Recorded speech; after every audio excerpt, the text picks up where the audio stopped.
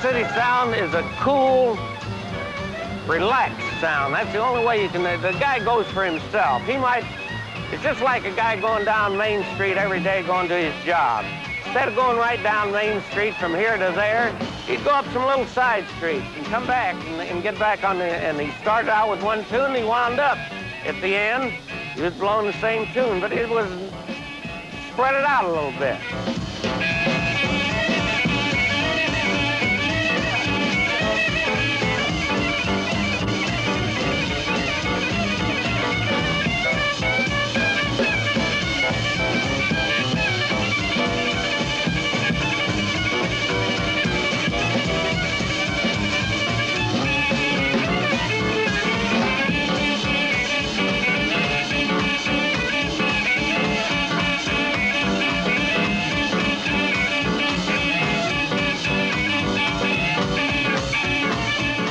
You got to remember, all at one time, we had Andy Kirk's band with Pha Terrell and Mary Lou Williams in the band.